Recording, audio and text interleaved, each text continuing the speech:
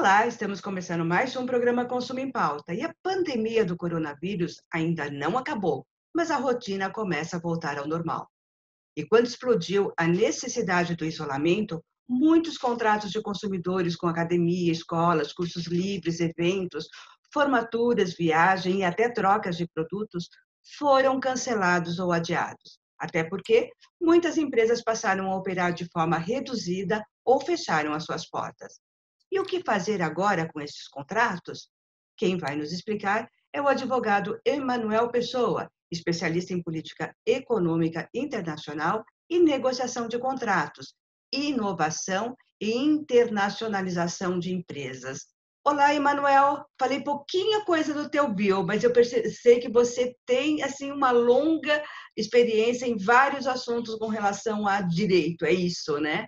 É isso, tudo bom? Prazer estar contigo, prazer estar informando aqui o pessoal. Hoje em dia, né, com tantos veículos de informação, é bom a gente poder trazer aqueles com credibilidade para as pessoas as informações que elas precisam. Então, obrigado pelo convite. É, com a pandemia, muitos contratos foram rompidos, né? Foram parados, rompidos, paralisados, adiados, né?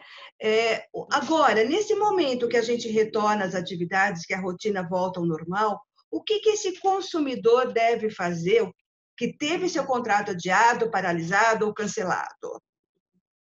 Cada caso é um caso, então cada caso precisa ser analisado separadamente. Algumas situações que os contratos foram suspensos interrompidos, normalmente eles vão voltar como estavam. A ideia é que volte de onde estava dentro da medida do possível. Claro, as situações de fato elas se modificam. Em outras situações, é muito provável que você tenha, durante o curso da pandemia, renegociado o cumprimento dos contratos. Em outras situações, você pode estar se vendo aí sobre a necessidade, inclusive, de estar tentando pleitear dinheiro de volta. Então, existe aí o caso de várias pessoas que tentaram cancelar algumas academias, por exemplo, durante o período que elas estavam proibidas de funcionar, e as academias não estavam facilitando o cancelamento. E aí essas pessoas têm conseguido vitórias no juizado especial e no PROCON. Então, não existe uma fórmula que resolve todos os problemas mas para cada tipo de contrato e cada situação há uma solução específica. Então, vamos falar em cada, em cada tipo de contrato, por exemplo, academias. Né? Se eu não fiz nada, simplesmente deixei de frequentar, é, mas também não paguei, o que, que pode acontecer agora? Well, a gente precisa pensar o seguinte: primeiro, se você tem um plano que ele é fixo e contínuo e a academia não ofereceu nenhum serviço virtual para você, ela não estava oferecendo o serviço. Então, o pagamento não era devido. Se você tem um plano anual, não pagou durante esse período, mas a academia estava oferecendo o serviço, foi uma opção sua não usar os serviços. Mas se você não queria usar o serviço, tentou cancelar e a academia dificultou o cancelamento, aí a falha é da academia. Então, isso vai depender também da situação de fato. Mas a regra é: se existiu um serviço prestado e você aceitou o serviço prestado, o pagamento é devido. Se não havia serviço prestado ou se você tentou cancelar e não conseguiu, o pagamento não é devido. Agora, se ela não ofereceu, eu continuei a pagar e agora eu estou retomando, ah, como fica isso que eu já paguei e eu tenho que parar de pagar agora ou são também questões de negociação entre as partes? O melhor é que sejam questões de negociação, porque o valor é pequeno para você e para a justiça, muitas vezes não compensa. Mas a regra é que se ela não tiver oferecido nenhum serviço virtual durante esse período, ou que você tentou cancelar e ela não permitiu, a regra é que esse período que você pagou, você pagou em excesso. E aí não é que você vai compensar agora, porque existem complicações no direito de você compensar por você mesmo, porque isso precisa ser reconhecido judicialmente, etc, etc, etc. Então, em vez de ser por juizado, em vez de ser por PROCON, é mais rápido você tentar negociar com a academia. Agora, se ela não aceita, Aí você vai para o PROCON e você vai para o juizado especial fazer valer os seus direitos. Então, eu posso pleitear a devolução, reembolso desses valores que eu paguei, se eu não frequentei, se ela não me ofereceu na, nenhuma opção para esse período. Isso. Aí sim, porque você não pode estar pagando por um serviço que não é oferecido. Se você não usa o serviço, é uma opção sua, mas ele tem que ter, no mínimo, sido oferecido. Tá. E se eu quiser continuar com a academia, eu posso fazer também um acordo com ela de não pagar agora e, e, usar aqueles valores que eu já paguei anteriormente. Porque em tese, em tese, se você pagou a mais, em tese você é credor da academia. Então, tá. você deveria conseguir compensar isso, tá? tá. Teoricamente, sim. Mas é claro, para você fazer isso, muitas vezes é complicado, porque você precisaria pedir uma decisão judicial. Então, é muito melhor você negociar com a academia do que você fazer para o juizado especial por um valor de 200, 300, 400 reais, que não compensa é, o que você vai gastar, muitas vezes, com advogado. Claro, juizado você não precisa de advogado, mas muitas vezes a pessoa ela é leiga de direito, ela se sente mais confortável com um advogado junto dela. Esse princípio valeria, então, também para escolas de cursos livres, tipo inglês ou qualquer outro curso. Seria o mesmo princípio? Se não tivesse sido oferecido, sim. Mas é por isso que essas escolas todas correram para oferecer o EAD. Primeiro, para as crianças não terem prejuízo, e segundo, porque assim elas estariam fazendo prestação de serviço e poderiam continuar fazendo a cobrança. Tá. O, o, se ninguém fez nada lá no período, e na época eu me lembro que quando começou a pandemia, os órgãos de defesa do consumidor, como a Senacom, como o PROCON, eles uh, orientaram que o consumidor ou que as partes entrassem num acordo já naquele momento e definisse o que fosse feito no, é, pós, né? O que, que poderia ser feito depois. É que, é... é que, muitas vezes as pessoas não percebem que o custo da disputa muitas vezes supera o que você vai ganhar quando o que você está disputando é pouco. Então, em função disso, é muito melhor fazer o acordo.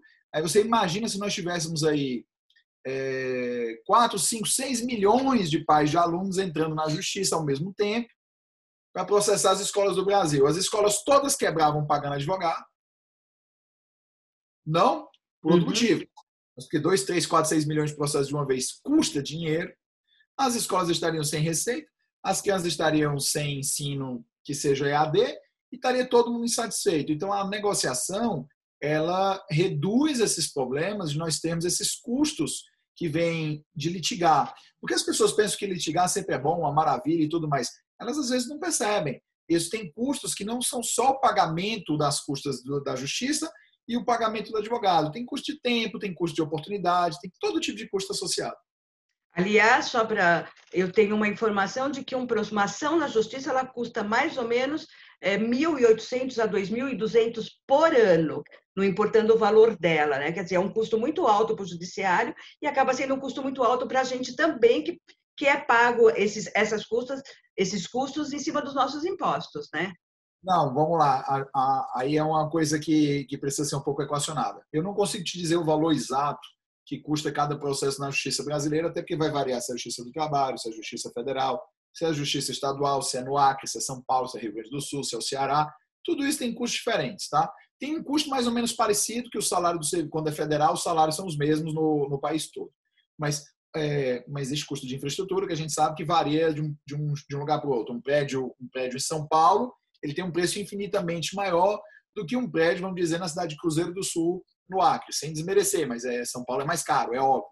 É, mas o que eu quero dizer com isso, é, só para desmistificar, é que assim, os nossos impostos pagam os salários dos servidores, tá? custos fi, é, fixos, essas coisas. Mas o que paga os custos do processo são as taxas judiciárias. Quando você entra com um processo, você paga taxas judiciárias, a não ser que você tenha justiça gratuita. Aí, nesse caso, o Tribunal de Justiça ou a Justiça Federal, ou a Justiça do Trabalho, tem que usar do orçamento dela para poder bancar o custo do processo. Mas, em regra, o processo tem que ser bancado com as custas judiciais.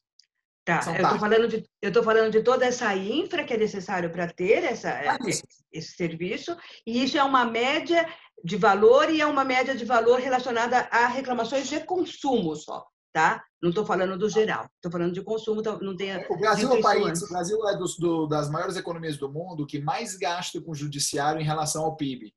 Gasta hum. cinco, seis vezes mais do que, do que os outros. Então, assim, o Brasil é caro, o judiciário brasileiro é caro, porque tem processo demais. Então, só o estado, só a cidade de São Paulo deve ter mais processo que os Estados Unidos inteiro. Ou seja, temos que pensar, conversar, dialogar e as empresas têm que ser transparentes é, para que a gente não precise é, buscar essa forma de resolver é, é essas questões, que precisamos buscar o judiciário. É que é uma bola de neve quando as pessoas não negociam. Olha como, olha como funciona a bola de neve. Todo mundo pensa, eu não vou negociar porque eu tenho a justiça, a justiça vai me dar o que eu tenho direito. Aí todo mundo entra. Só que é humanamente impossível a justiça resolver 70 milhões de processos judiciais em um ano, dois anos, que é o estoque acumulado que tem no Brasil. Tá? Então, como não resolve, tem quase 60 milhões, na verdade. Como não resolve, As pessoas têm a ilusão de que entrar na justiça resolve, elas contribuem para o problema, porque elas estão atrás do direito dela, e aí a coisa vai para frente. Aí, quem quer descumprir, quem não quer fazer a coisa certa, pensa, eu prefiro fazer a coisa errada, porque se eu for processado vai levar 10, 15, 20, 30 anos para acabar isso, então no final o outro lado vai desistir, eu não pago nada. Então o fato de as pessoas entrarem toda hora com a justiça, porque elas confiam que vão ter uma adesão da justiça, acaba fazendo com que a maioria delas não tenha a decisão judicial. Então o que é mais importante é que as pessoas comecem a resolver com formas não litigiosas as suas questões, porque aí, quando se entrar na justiça, se tem certeza que é rápido, eficiente e todo mundo vai ter medo de ser processado. Então, nos Estados Unidos, por exemplo, que eu morei lá, as pessoas têm medo de ser processadas, porque tão poucas são efetivamente processadas que é uma coisa que realmente é temerosa. Mas no Brasil, as empresas não se importam de tomar um processo trabalhista, não se importam de tomar um juizado especial, só se ela for muito pequenininha, porque ela pode quebrar. Mas empresa média para cima, ela não está nem aí, porque ela sabe que aquele custo é marginal para ela. Entendi. Bem interessante as tuas colocações e eu quero retornar então aquelas uh, o que o consumidor deve fazer em cada situação, mas a gente vai fazer isso no próximo bloco, tá bom? A gente vai dar uma paradinha e voltamos já já, ok? Eu já usei drogas. Comecei com um beckzinho de vez em quando. Ele me fazia esquecer meus problemas, me deixava na brisa. Só que depois da maconha, eu queria um pouco mais. Álcool, cocaína. Sim, foi indo. A gente sempre quer um pouco mais. É como se fosse passar de fase no videogame. Eu acabei conhecendo uma galera que entrou nessa também, por diferentes motivos. Motivos diferentes dos meus. A gente pensa que as drogas vão fazer a gente esquecer os problemas da nossa cabeça, mas só piora. As drogas fazem a gente ficar dependente delas. Eu fui trocar uma ideia com os meus pais a respeito. Eu sei que dá medo da gente falar para os nossos pais que a gente está usando alguma coisa, mas eu cheguei a um ponto onde eu não conseguia mais resolver sozinho. Foi quando os meus pais me ajudaram. E foi a melhor coisa que eu fiz. Eles me ajudaram a resolver o problema. Eu descobri que eu não estava sozinho. E foi como passar de fase.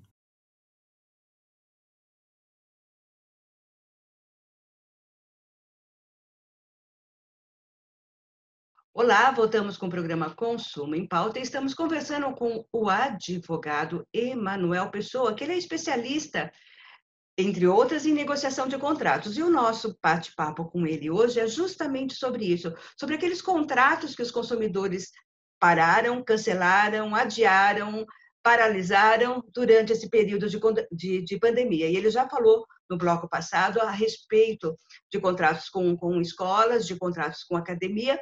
Agora, doutor, ah, já falou de escolas, mas das escolas regulares. Eu queria saber daquelas escolas que não são regulares, quer dizer, os chamados cursos livres, né? Que é um curso técnico, é um curso de inglês.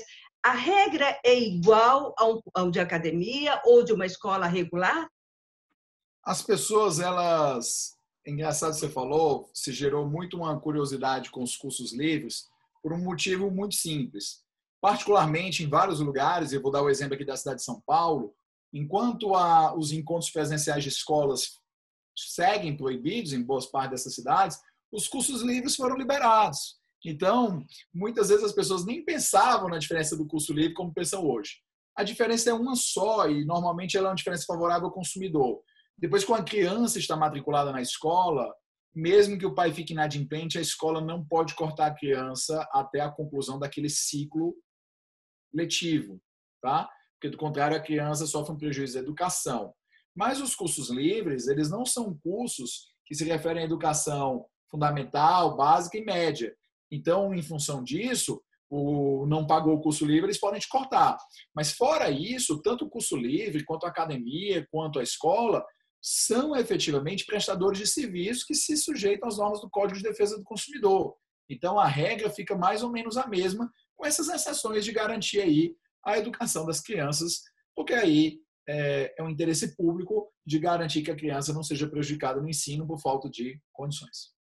Ou seja, na hipótese, de, ainda falando de curso livre, tá? De cursos livres, na hipótese dele não ter me oferecido aulas virtuais, dele ter fechado a, o estabelecimento, eu não ter feito nada durante esse período, mas continuei pagando uh, eu tenho direito a reembolso ou a reposição dessas aulas. É isso? É isso. É, não, tem, não, não, não tem outra regra, é essa. É essa.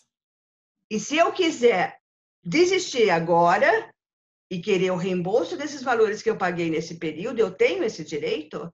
Mas você vai desistir em que circunstância?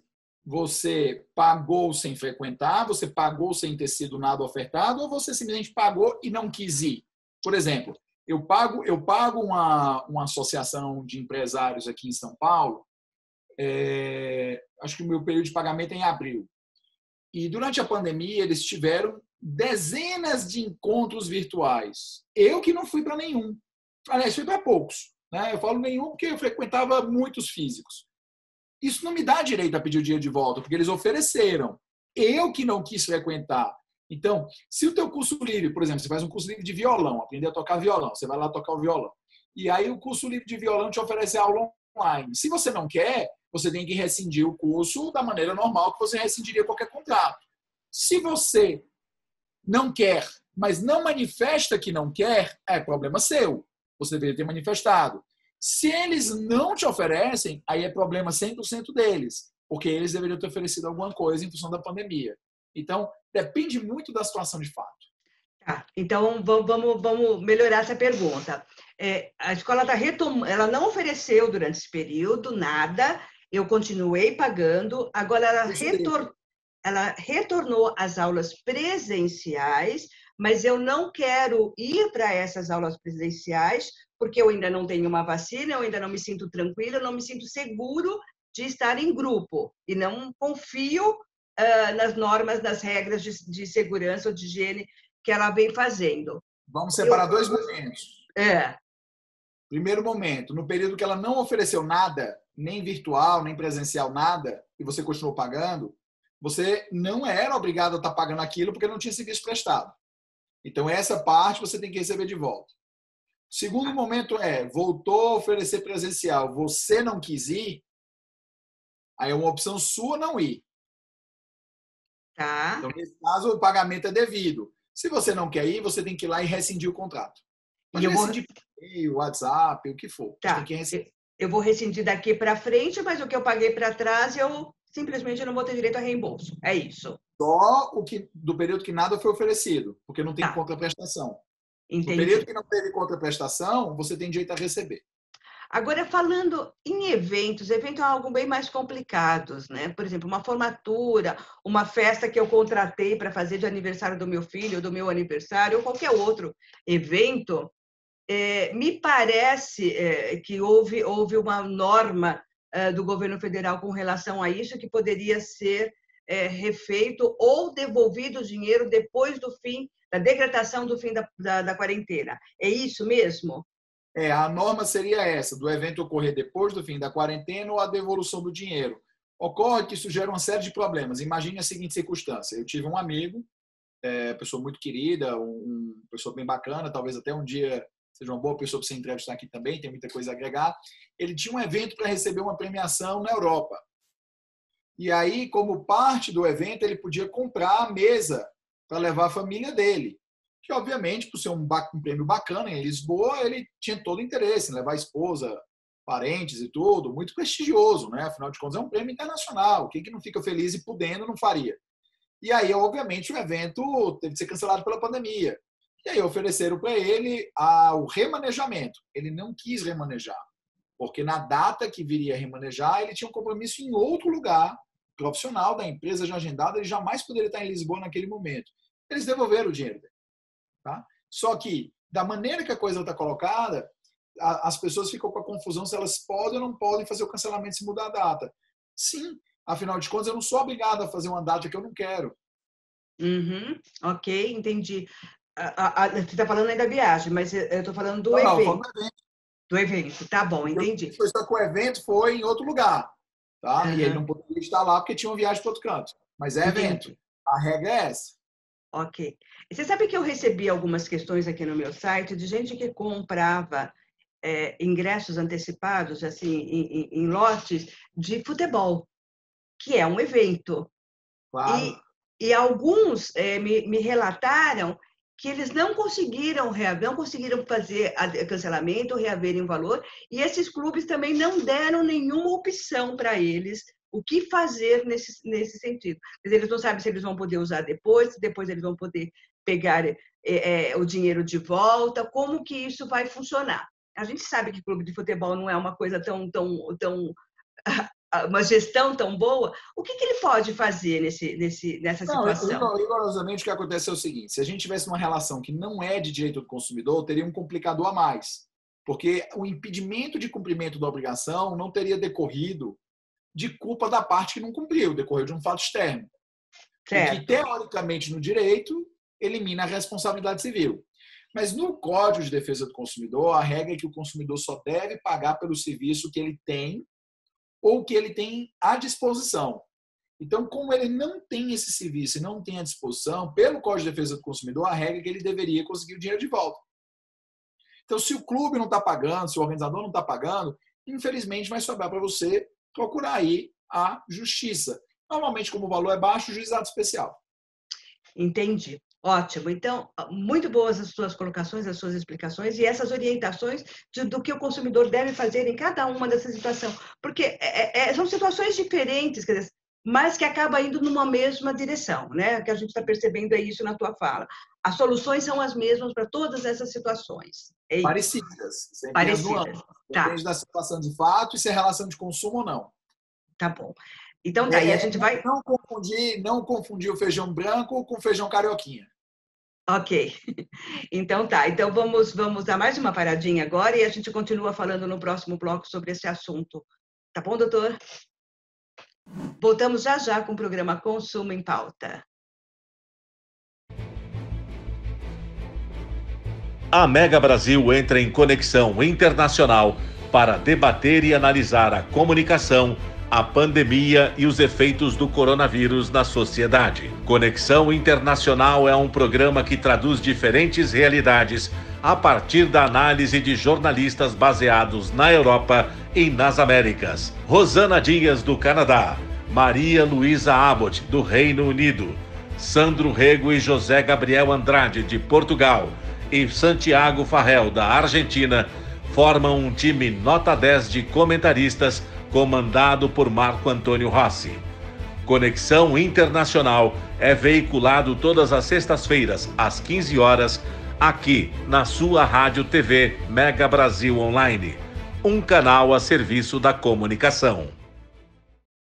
Olá, estamos de volta com o programa Consumo em Pauta e conversando com o doutor Emanuel Pessoa. Ele é advogado, tá? E ele fala sobre uma das especialidades dele é negociação de contrato, algo que hoje muitos consumidores estão tendo um monte de interrogações, interrogações em razão da quarentena, de contratos que foram suspensos, paralisados. Ele já falou nos dois blocos anteriores, deu algumas, falamos sobre algumas situações e ele deu algumas explicações. E, doutor, eu queria falar agora com você especificamente sobre viagem. Viagem também saiu uma norma né, do, do da Senacom, é, é, falando também que é, poderiam ser negociados após o fim da decretação no período de, de, de pandemia, que está marcado para dia 31 de dezembro, mas a gente não sabe se realmente isso vai acontecer.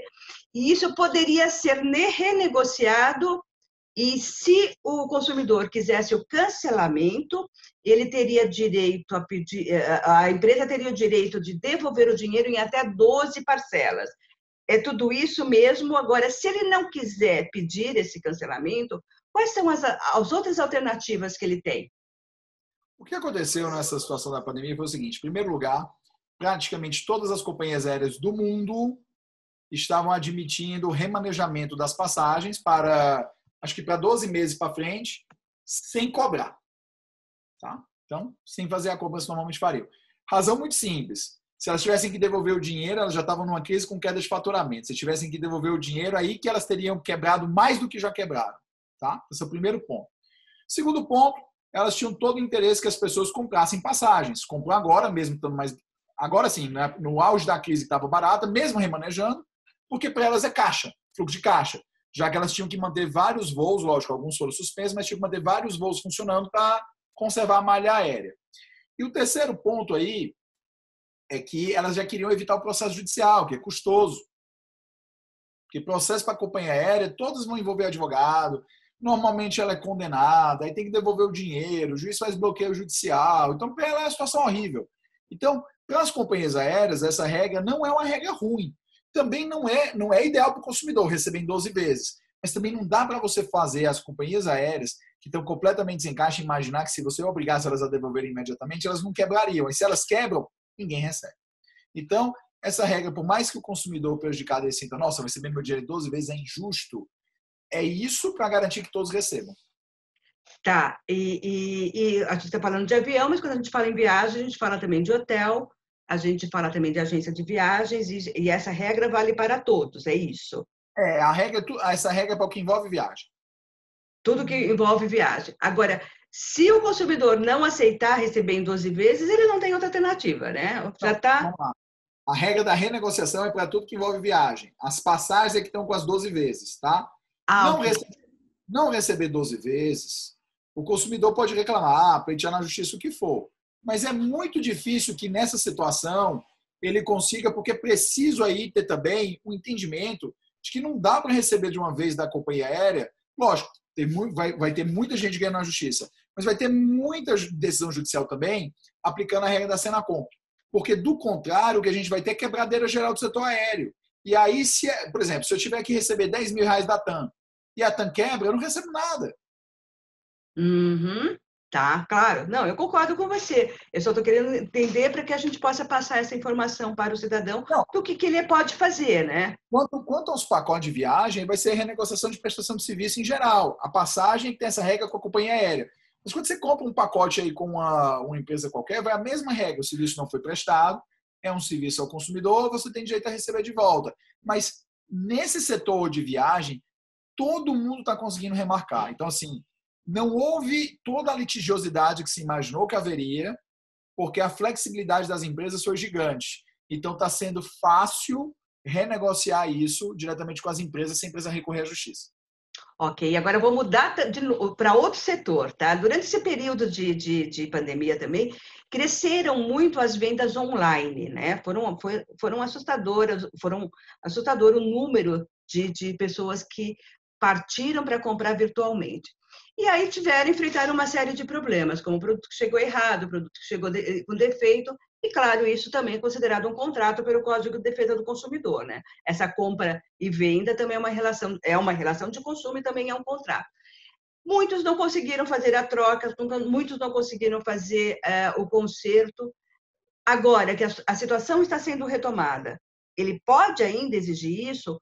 E como pode. fica a garantia desse produto? Ele comprou em março e, e, já, mas já deu defeito e ele não teve essa assistência técnica, embora estivesse na garantia. Como que ficam todas essas situações?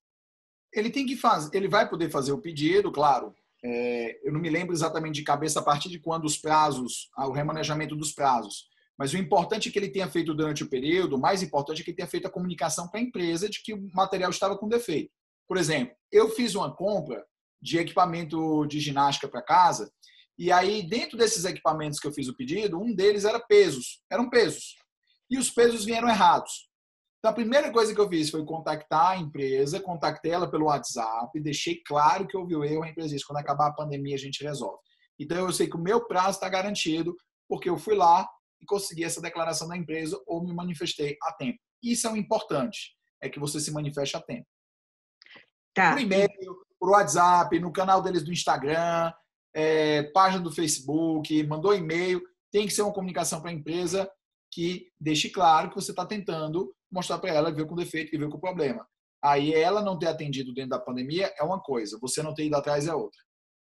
Entendi. Agora, quando você fala em prazo de pós terminar a pandemia, é esse prazo decretado pelo governo federal, né? A pandemia vai até 31 de dezembro, é isso? Não, é, os prazos, eu não estou com isso de cabeça, mas na, na, no, regime, no regime especial jurídico tem os prazos estabelecidos, tá? Então tem que se consultar esse prazo. Mas o que é importante para o nosso ouvinte saber é que em qualquer circunstância, não importa o defeito que você tenha, comunique o quanto antes para você evitar a perda de prazo. O fato de eles não resolverem logo não muda o fato de que você comunicou, porque alguns defeitos têm que ser comunicados em 30 dias, outros têm que ser comunicados em até 90 dias. Então, quando você comunica o defeito, mesmo que eles não façam, você não perdeu o seu prazo. A partir daí, você vai ter cinco anos para resolver tudo, no total. Mas se você não tiver comunicado, você perdeu o seu direito. Então, comunica. Ou seja, aquele consumidor que ainda não comunicou, mas está dentro desses prazos, corra para fazer isso. Ele tem, ele tem que correr, ele tem que correr o mais rápido possível, tá? É, porque senão o que vai acontecer é que ele entra no que a gente chama de prazo de decadência, que é quando ele efetivamente não consegue exercer um direito porque ele perdeu o prazo, né? Existem é, vários prazos que estão suspensos, mas são prazos de prescrição que ficaram suspensos até o dia 30 de outubro. Esse prazo de reclamar de defeitos é o que a gente chama de prazo de decadência, tá? Uhum. Então, assim, é, os prazos decadenciais também sofreram a mesma suspensão, até 30 de outubro de 2020. Então, a partir desse momento, dia 30 de outubro, se o consumidor não fez a reclamação e passou os 30 dias, né? É, vai ser 30 dias, vai ser, aliás, nós ainda estamos em outubro, né? Então é até amanhã. Até amanhã. Então, a partir de amanhã, no dia, no dia, no dia 31 de outubro, voltam a correr os prazos que ficaram suspensos em função da quarentena. Então, ele vai ter 30 ou 90 dias, aí a depender, é, para poder fazer a reclamação. Mas, se já tiver corrido parte do prazo no meio do caminho, ele vai ter só o que falta para concluir o prazo. E explica melhor isso, já, se já foi parte do, do, do prazo? Imagina que é porque a lei, a lei que determinou isso, se eu não me engano, é a, é a 14.010, tá? Então, se eu não me engano, a lei 14.010, ela entrou em vigor em 10 de junho, alguma coisa assim. Foi nessa época. Então, é, todos os prazos de decadência, de reclamar e de prescrição, ou seja, o prazo para você reclamar das coisas, ficou suspenso do dia 14 de junho até o dia 30 de outubro. Então, imagina que o meu prazo de reclamar começou não no dia 10 de junho, mas começou no dia 1 de junho, 1 de junho. Então, já tinham passado 10 dias quando começou a lei. Tá? Hum. Então, eu só tenho mais 20 ou 80, dependendo do tipo de problema que eu tenho para reclamar. Então, você tem que observar isso. Tá? Porque essa tá. suspensão foi entre 10 de junho, se eu não me engano, e é até amanhã, 30 de outubro. Ou seja, agora quem comprou em março e que foi, já, já começou o período de, de, de pandemia, até junho, o prazo dele já acabou, então.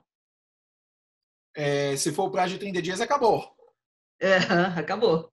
Agora, se for de 90 dias, abril, maio, junho, não, né? Ainda teria. Depende do dia, né? É, depende do dia, também já poderia ter acabado. Quer dizer, ele tem que olhar isso também, né? Tem, tem que olhar sempre. E aí ele não tem o que fazer. Não adianta ele falar. Isso que eu falo. Esquece, não pensa nisso de prazo. Tá. Pensa numa única coisa. Deu problema, comunique imediato. Ponto. Ok. Tá? Sempre. Comunique imediato. Porque independentemente de qualquer coisa, você está resguardado, porque a partir do momento que você comunicou, você cumpriu a sua a regra sobre você, comunicar. Daí para frente, é a empresa que tem que cumprir a regra de ajeitar. Comunicar a empresa, mas aí ele poderia também usar outros canais para comunicar, de repente colocar uma, uma já que o Procon está atendendo só virtualmente, colocar isso no Procon também, é, serviria também como uma prova para ele, não, uma documentação para ele? Não. Não, vamos lá. A comunicação é a empresa, tá. não é o Procon. Ao Procon okay. é reclamação, é o tempo que você tem aí, os cinco anos que você tem para entrar é, com a reclamação de direito do consumidor. Só que o tempo para você pedir o conserto de produto defeituoso é 30 a 90 dias, dependendo do tipo de defeito. 30 dias defeito aparente, 90 dias defeito oculto. Tá, mas quando eu coloquei de comunicar ao PROCON, de, de repente o consumidor utilizar essa reclamação também como uma prova para ele. Não, tudo bem, como prova sim, mas a comunicação tem que ser para a empresa e não para o PROCON. Tá, entendi, ok. Não é o PROCON que conserta o bem, é a empresa. Ok, então, é a ok. Empresa. Saque, e-mail, Instagram, WhatsApp, Facebook, né? se ela tiver TikTok, o que for, mas tem que ser uma comunicação que você consiga provar, inequívoca. Tá. Para a gente finalizar, qual o recado que você deixaria para o consumidor saindo dessa quarentena e com todos os para ele com relação a todos os contratos dele? Bom, em primeiro lugar, a quarentena é um período excepcional. Estou vendo que atrás de você tem uma foto do Cascão. É tão excepcional o período da quarentena que teve até revestindo o Cascão lavando a mão. Uhum. Né?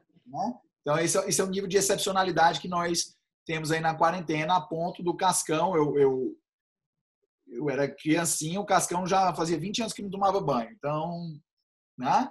Então, brincadeiras à parte, meu conselho para o consumidor é: agora que você aprendeu nesse período de excepcionalidade que você consegue negociar tudo, que você consegue negociar com qualquer loja, com qualquer empresa, com qualquer fornecedor, com qualquer consumidor seu, usa isso daqui para frente e negocia melhor a tua vida, negocia melhor os teus contratos.